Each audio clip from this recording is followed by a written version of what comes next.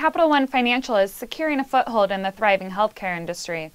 The company announced late Tuesday that it has reached a deal to buy the healthcare finance unit of General Electric. A transaction price of about $9 billion implies that Capital One will be paying a roughly 6% premium. GE Capital's healthcare financing services are offered to senior living centers, hospitals, pharmaceuticals, and medical device makers. Darren Elkis, president of GE Capital's Healthcare Financial Services Unit, will continue to lead the business as part of Capital One. For General Electric, the deal aligns with its attempts to dispose of the assets of GE Capital, as it looks to focus on its industrial operations.